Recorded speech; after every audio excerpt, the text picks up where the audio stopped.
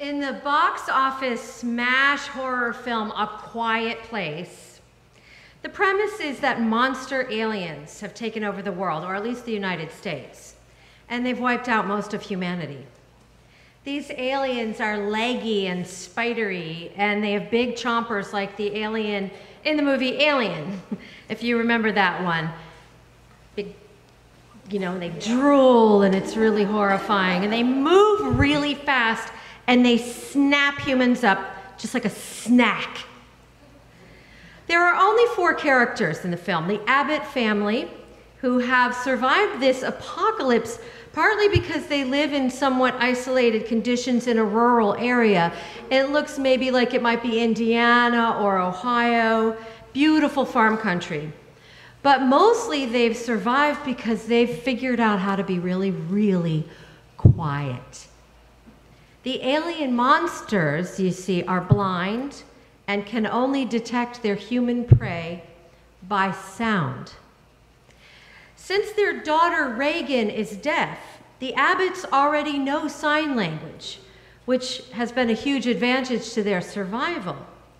The father of the family, Lee, is one of those amazingly useful guys who knows how to fix and make almost anything and has even figured out how to pour bags of sand all over the property to make quiet paths for his family to walk upon.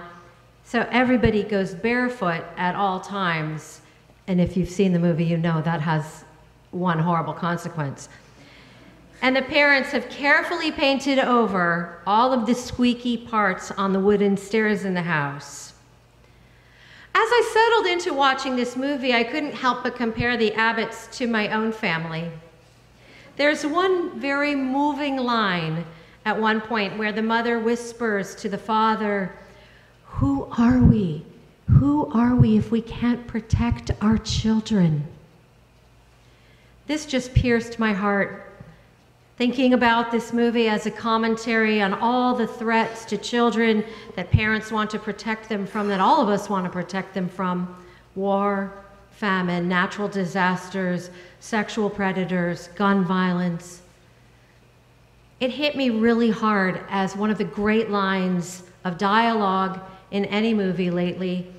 And then part of my brain was also thinking, oh, wow, you know, both of my parents snore really loudly. So I don't know that we would have had much of a chance against these monster aliens. It would have been all over in like a day or two. The Abbotts, moving through their quiet, dangerous days, loving each other, and managing even to take a silent grace before dinner, served on big leaves of kale or some other leafy green, because dishes are noisy, they clink represented to me the kind of people who manage to go on living beautifully and with great tenderness, even when the circumstances around them are treacherous.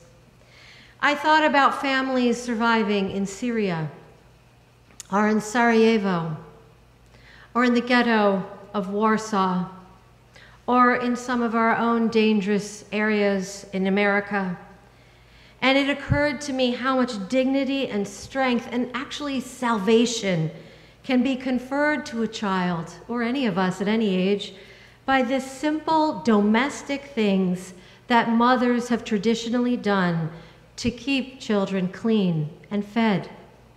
How often have we been saved from despair and fear and a sense of spiraling crisis by a bowl of soup quietly offered? There is a beautiful silent scene in A Quiet Place, as I just described. The family is sitting at their dinner table, so civilized, where civilization all around them has collapsed completely. They are literally surrounded by monsters. But as I said, they, they share this grace. What they do is they serve up the food, and then they all sit in their chairs and they reach out. They simply reach out for one another and hold hands. And then they put their heads down in an attitude of prayer and they hold that for a very long moment. And I got tears. I thought of that line that we just heard as our opening words, that line by Kathleen McTigue that talks about how we resist the headlong tumble into the next moment by taking communion in each other's eyes. And I just, those, they, they, they put their heads down, and then somehow they know when to lift their heads up and just look at each other because they're so lucky to be alive.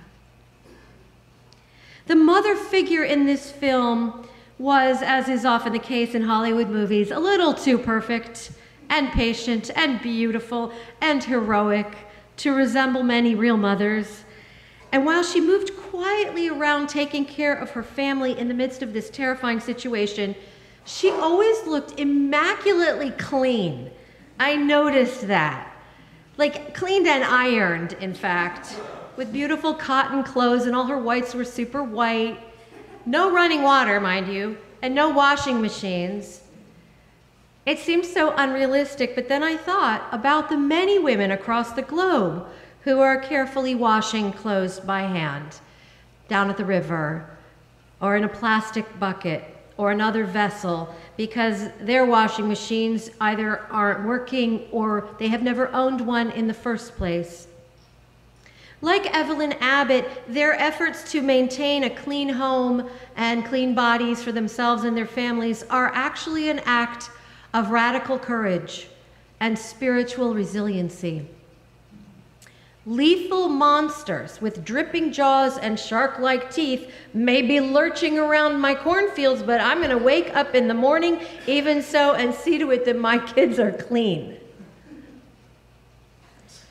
From An Ode for Ironing by Pablo Neruda.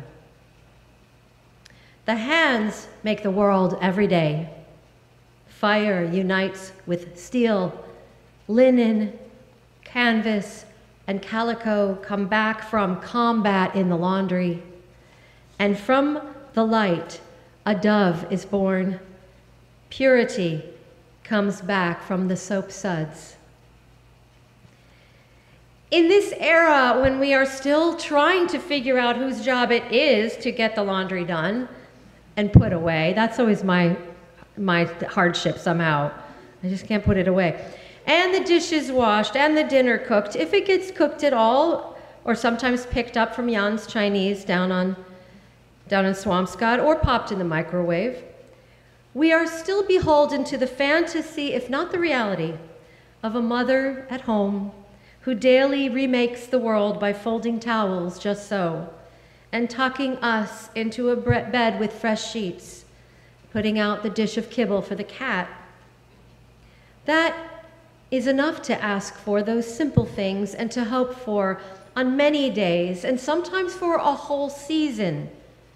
Not the big ambitions, not the huge projects, but a return to appreciation of the saving, life giving beauty of what has traditionally been called woman's work but that we now understand to be the work we all do to make the world new through soap suds.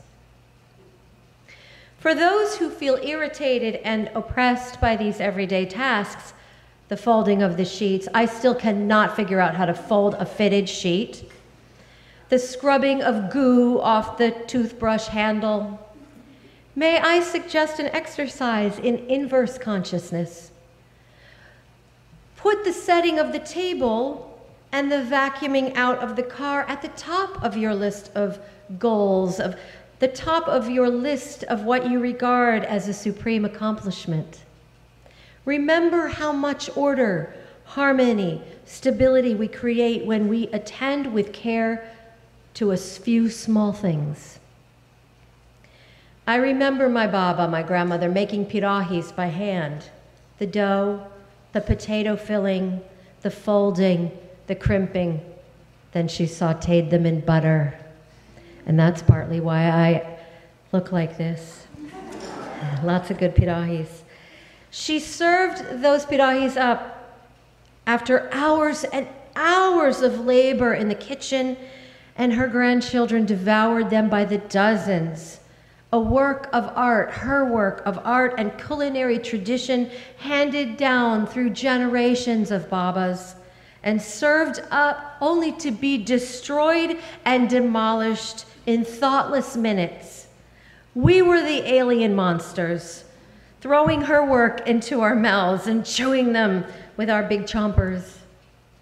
Every woman who has assembled recipes all year, shopped for weeks, and spent days cooking for Thanksgiving meal knows the feeling of watching her hours of labor annihilated in minutes by the happy crowd around her table. These meals, again, cooked by mothers, fathers, aunts, uncles, friends, these meals leave no monuments, no markers, but they create a sense of life as abundant and good and rich and tasty and pleasurable. And these things please God. These are happy destructions that in some way we hope and pray when we make them, when we offer them up, may counterweight the capriciousness of fate. Every sandwich tucked into a paper bag for a child's lunch, however hastily assembled, must carry with it a blessing. May this sandwich feed you, my child, my love. May this sandwich see you through your day. May no harm come to you. May you never sit alone and unhappy in the cafeteria. Do you see why it matters then that you put your spirit in a place of mindfulness when you slap that peanut butter onto that bread, or if your child has a peanut allergy, you put that chicken salad or whatever it is onto that bread? May no peanut come near you, my allergic little darling. God keep you safe and well. These are the prayers that are unconsciously transmitted through you, through your hands and the knife that cuts off the crusts when you prepare that lunch or the simplest snack. About 10 minutes into a quiet place, we see the mother, Evelyn, in a full shot that reveals that she is pregnant. It is about a year into the alien invasion, the apocalypse. And dear God, she and Lee are going to have a baby in the midst of this incredibly dangerous situation. The audience, seeing this, groans. We already love this family, and we are thinking, oh my God, a baby? How are you going to keep a baby quiet? How is she going to give birth in silence? Are you kidding me? You're just creating another alien snack. But then you realize, ah, in addition to being a great plot twist, this is a metaphor. Evelyn and Lee Abbott are people who love. And love is always life generating. Love must express itself in acts of life giving and life making, whether that is expressed through making a baby or making a bed or setting out candles and a cloth on a, an altar table, washing dishes in a kitchen after people have gathered in fellowship Oh, you root for that baby. Oh, you root for that mother bringing forth life in a basement bathtub, clenching her teeth onto a towel so she won't make any noise in her labor. And you realize how many times the mothers that you have known, whatever their relationship to you, whatever their gender, have given life under similarly sacrificial and quiet circumstances, never giving away their pain, just determined to protect you and to bring you into being in every way that they know how, body and soul. And so we think of them today. We think of them and their grounding in the love of God that has created us all and who knows and who knows out of how much pain. The love that is still and always creating us. L'chaim, to life. Here's to the life givers.